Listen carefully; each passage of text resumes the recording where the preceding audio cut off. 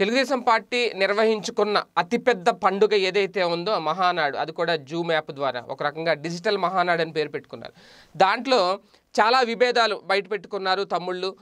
అసలు ఈ ఏడాది కాలంలో పార్టీలో తెలుగుదేశం పార్టీ శ్రేణుల మధ్య ఎటువంటి విభేదాలు చోటు చేసుకున్నాయి? అసలు సఖ్యత లేకుండా ఎలా ఉన్నారు? ఏంటి? రెండు వేల పంతొమ్మిది ఎన్నికల్లో ఓటమికి సంబంధించి తెలుగు తమ్ముళ్ళు అసలు ఎటువంటి అంశాలు వాళ్ళు ప్రస్తావించుకున్నారు? వాళ్ళ మైండ్లో ఏముంది అనేది కంప్లీట్గా ఈ మహానాడులో బయటపడింది అనేది చాలా స్పష్టంగా అర్థమవుతుంది. అంటే వాస్తవానికి తప్పు ఎవరిది అనే దాని మీద రెండు వేల పంతొమ్మిది ఎన్నికల ఫలితాలు వెలువడిన అనంతరం క్యాడర్దే తప్పు అని చెప్పి అధిష్టానం లేదు అధిష్టానం సరైన క్యాండిడేట్ని ఎంపిక చేయలేక చేయలేకపోయింది అని చెప్పి కార్యకర్తలు ఒకరినొకరు నించు నిందించుకున్న పరిస్థితి. అయితే ఇక్కడ కార్యకర్తలు అనడానికి లేదు.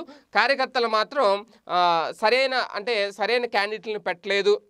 చంద్రబాబు గారు అయితే మంచి పనే చేశారు. కానీ క్యాండిడేట్లు సరిగ్గా వాళ్ళ గెలుపు కోసం కృషి చేయలేదు అనేది వాళ్ళు చెప్పిన మాట. అయితే ఇప్పుడు మరొకసారి అటువంటి అంశాలే చంద్రబాబు నాయుడు గారు ముందు మహానాడు వేదిక సాక్షిగా బయటపడడం జరిగింది. మాజీ శాప్ చైర్మన్ ఎవరైతే ఉన్నారో పిఆర్ మోహన్ ఈ విషయాన్ని పదే పదిసార్లు ప్రస్తావించడం ఒక రకంగా అంటే పార్టీ కోసం సర్వం దారపోసి పనిచేయాల్సిన వాళ్ళు ఎవరైతే చేసిన వాళ్ళు ఎవరైతే ఉన్నారో వాళ్ళందరూ అప్పులు పాలైపోయారు తప్ప వాళ్ళకి ఎటువంటి ఉపయోగం లేదు అని చెప్పి ఆయన మాట్లాడడం. అలాగే చాలామంది పార్టీ కోసం ఖర్చు పెట్టాల్సిన వాళ్ళు ఎవరైతే ఉన్నారో పార్టీ అభివృద్ధి కోసం లేదంటే పార్టీ గెలుపు కోసం కృషి చేసిన వాళ్ళు ఒకప్పుడు పార్టీ ద్వారా లబ్ధి పొందిన వాళ్ళు పదవులు ఆశించిన వాళ్ళు పదవులు పొందిన వాళ్ళు. వాళ్ళు రెండు వేల పంతొమ్మిది ఎన్నికల్లో పార్టీ గెలుపు కోసం ఎటువంటి కృషి చేయలేదు అసలు రూపాయి కూడా ఖర్చు పెట్టలేదు అనే విషయాన్ని కూడా ఈ సందర్భంగా ప్రస్తావించడం. వాస్తవానికి ఈ వీటిలో నిజాలు ఎక్కువ శాతమే ఉన్నా సరే ఎందుకు అలా జరిగింది అనే దాని మీద ఇప్పుడు మరొకసారి మేధోమదనం చేయాల్సిన పరిస్థితి తెలుగుదేశం పార్టీ ముందు ఉందా అంటే ఖచ్చితంగా ఉందని అంటున్నారు రాజకీయ విశ్లేషకులు. ఎందుకంటే చాలామంది అంటే ఇందులో కొంతమంది పాత్ర చంద్రబాబు చుట్టూ ఉండే కోటరీ ఏదైతే ఉంటుందో ఆ కోటరీలో ఉన్న చాలామంది ఉంటారు. ఐఏఎస్లు ఉంటారు సీనియర్ రాజకీయ నాయకులు ఉంటారు వీళ్ళందరూ ఉంటారు. వాళ్ళందరూ కలిసే ఆ కోటరీయే కొంప ముంచింది. అనేది ఇప్పుడు తెలుగుదేశం పార్టీ కింది స్థాయిలో ఉన్న నేతల్లో క్షేత్రస్థాయిలో ఉన్న నేతల్లో శ్రేణుల్లో చాలా క్లియర్గా ఉంది. అదే వాళ్ళలో అసంతృప్తి పెంచుతుంది రోజు రోజుకి. అదే నేపథ్యంలో పార్టీని వదిలి వెళ్ళేందుకు కూడా ఎమ్మెల్యే సిద్ధమవుతున్నారు అనడానికి నిన్న ఆ మహానాడులో చాలామంది బయటపెట్టిన మాటలు ఏవైతే ఉన్నాయో అవే నిదర్శనాలుగా మిగిలాయి.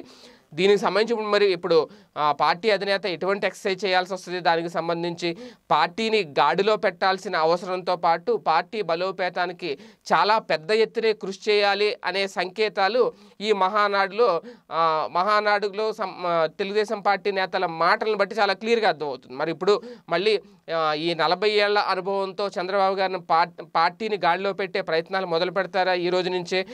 ఎందుకంటే ఈ నాలుగేళ్ళలో గనక సరైన మళ్ళీ బలమైన పునాదులు వేసుకోకపోతే వచ్చే ఎన్నికల్లో గెలుపు సాధించడం అంత ఆషామాషి వ్యవహారం కాదు అనేది చాలా స్పష్టంగా అర్థమవుతుంది. మరి నేతలను సమన్వయపరచుకోవడం ఒక సవాలు చంద్రబాబు గారి ముందు. అలాగే పార్టీలో తమ్ముళ్ళ మధ్య విభేదాలు పోగొట్టి వాళ్ళందరినీ ఒకే తాటి మీద తీసుకురావడం వాళ్ళందరితో పార్టీ కోసం పార్టీ ఎదుగుదల కోసం పార్టీ గెలుపు కోసం పనిచేయించుకోవడం అనేది మరొక అతిపెద్ద సవాల్గా మారింది. ఈ సవాళ్ళన్నింటినీ స్వీకరిస్తారా చంద్రబాబు గారు? ఈ సవాళ్ళని ఎదుర్కొని ముందుకు వెళ్ళగలుగుతారా? ఫైనల్గా సక్సెస్ సాధిస్తారా లేదా? వేచి చూడాలి. ఈ వీడియో గనక మీకు నచ్చినట్లయితే లైక్ చేయండి షేర్ చేయండి. మరిన్ని వీడియోస్ కోసం మా ఛానల్ను సబ్స్క్రైబ్ చేయండి.